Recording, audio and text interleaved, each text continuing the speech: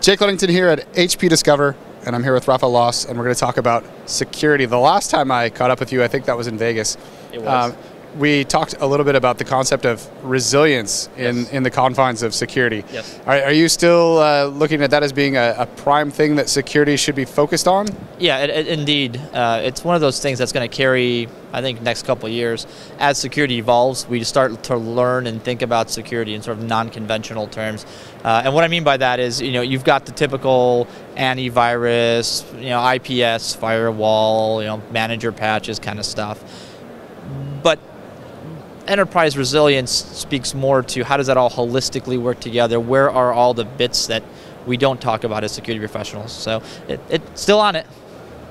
So, so what key things are you seeing right now? Um, I mean, in terms of, of applying resilience to the security infrastructure. Yeah, so uh, I, I've got this analogy I've been using, and it's actually worked out quite well.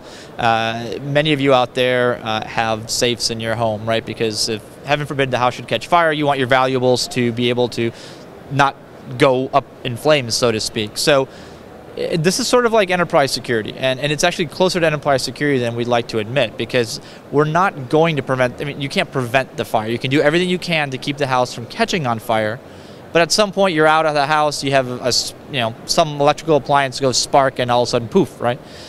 The problem is uh, it's not preventing, it's detecting, responding, and restoring quickly. Uh, and part of that is this whole notion of safes. And we all have safes, and most of us have safes. And it's not, the safe isn't fireproof, right? You can't just drop it into a fire for 10 hours and go, yep, it's going to be like that forever. It's a certain temp- outside temperature with a certain core temperature for a certain period of time. This is what enterprise security is turning into these days. And it is how long can you keep the attackers at bay, essentially beating on your infrastructure before you figure out they're there and then you're able to respond somehow and restore service and get back to business right? So in this it- it's sort of like i give this talk to the execs out there and they sort of stare at you stare at you stare at you and all of a sudden like this you can see the light bulb going on they're like you know that's true. So what i'm paying what i'm really paying for in my security budget is an increase in that burn time how, how, how much time can I can I buy myself, right? How much time can we buy ourselves as the enterprise? Uh, because it's, it's- that's what really we want. We're not going to magically spend enough money to where the hackers don't come get us. They will come get you. It's can you find them? Can you get you know restore, stop what they're doing and get yourself back to business in a reasonable amount of time? So you're really trying to slow people down, is what you're saying. But how do you go about slowing people down? What are the what are the effective ways of slowing people down? Yeah, so there's the traditional security bolt-ons, the things that we sort of add on after the fact. Um, you've got your anti-malware, you've got your network firewalls, you've got your intrusion prevention, you've got all those kinds of things. But then there's the non-traditional things that we do as a company that I think nobody else does, uh, that the industry really is starting to look at too, is things like asset management, things like change management, right? foundational to security is knowing what's on that network, whether it should be there, whether it's trusted, what it did last time it was there, who's operating it. Um, and it's funny because you know we did this 15 years ago, but we didn't really call it this. Like you know, a lot of security professionals or CISOs or their delegates are not on change review boards. Yet we complain when something pops up on the network that we don't know about. It's like, okay, you can't, you don't get to complain about it if you're not there to say no. And it's not really, it's not even about saying no sometimes. It's about saying, hey, look, um, what you're about to do is circumvent security processes we have. Can you at least give us a chance to do compensating controls on this? And sometimes the answer is yes, you can. Sometimes it's too late. We're going to deploy tomorrow, figure it out. But at least you can figure it out, right? So change is change and as fast as the enterprise world changes today. I mean, look, you know, you wake up, you wake up and walk into work one day, and all of a sudden, you've you, your company's gone to the cloud. You've now next day, you're like, hey, uh, why does everybody have their own tablets? Oh, we've decided BYOD was a great idea, right? you can't effectively manage security with those draconian ways we used to, where it's like, okay, you can only have the corporate lockdown laptop with the three applications, and you can only go out to certain websites. Unless you're the NSA or, or some sort of government organization or some top secret laboratory out there, odds are that ain't to fly. So how do we get past that and enable people, right? This is the enterprise problem. How do we enable people to continue to work, be happy, be productive, while maintaining a good level of risk? This requires a lot more than just your traditional security, network security and software security kind of stuff. It requires the entire thing working together. So you're kind of talking a, a, little bit more about like reputation management in terms of the devices. I mean, you, you talk about it as being assets because they are, yeah.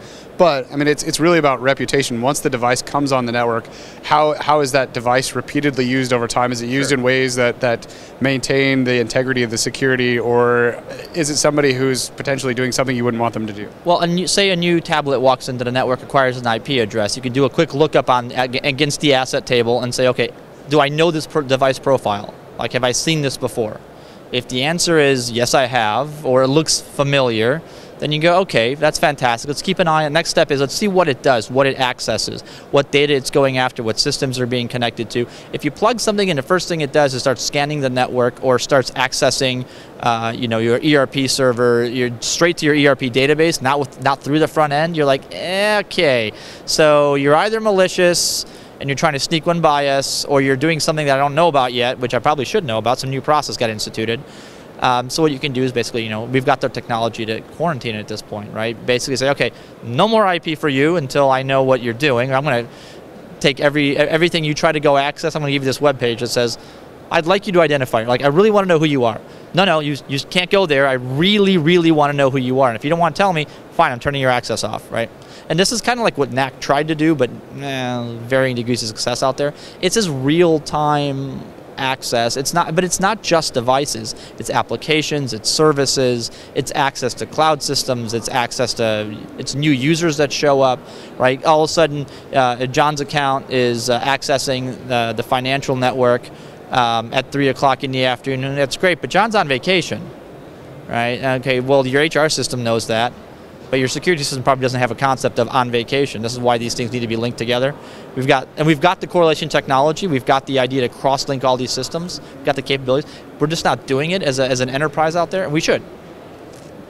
So what is it going to take to move people to, to doing these kinds of things? Is it going to take a, a major uh, uh, fallout, kind of like the way, the way, people start getting serious about uh, data loss prevention um, about the time that the first time they lose a lot of data?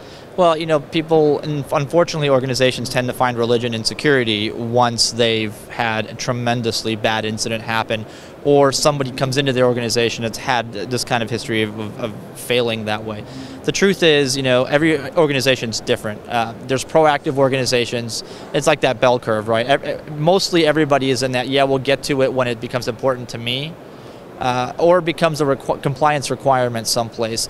It, the people that you, you, get security people that say, you know, my CIO doesn't care about security. They may not care about security in that word, but they care about, you know, the fact that their systems are available, their customers trust them, they can place orders from the internet at any given point in time. And if your database got hacked, you can't do that. Therefore, you care about security right? So it's it's really, I mean, we got to get better as an industry, as a security profession.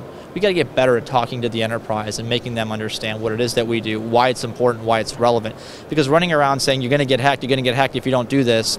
Look, it hasn't worked in 15 years effectively to get everybody's attention, and we're still those whack jobs running around, you know, kind of being scaring people. It's not scared tactics don't work; they shouldn't work, right? You know, it's kind of like everybody's afraid of sharks, and you know, you go in the water, you don't, you don't want to get eaten by a shark. But did you know that more people get uh, injured by vending machines than sharks every year? Irrational fears. I, I, did not know that. You do now. I, I, now I'm afraid of vending machines. Right, but everybody uses vending machines every single day, yet they kill more people than sharks do. But it's like, what are we afraid of? Well, we're afraid of sharks because they're, you know, they're the unknown. They're the big bad thing. It's like, are we, we, are we afraid of security? Are we afraid of those hackers? Well, you know, we could be, and rightfully we should be aware of what they could do to us. But if we're prepared and, and if we're properly aware of how to detect them, respond to them, and restore our services, then you know we can just say simply, all right, at some point we're going to get chomped on. We may lose a finger, but we need to have, you know figure out how to get that finger, get back, get it back on, and get back to doing what we were doing.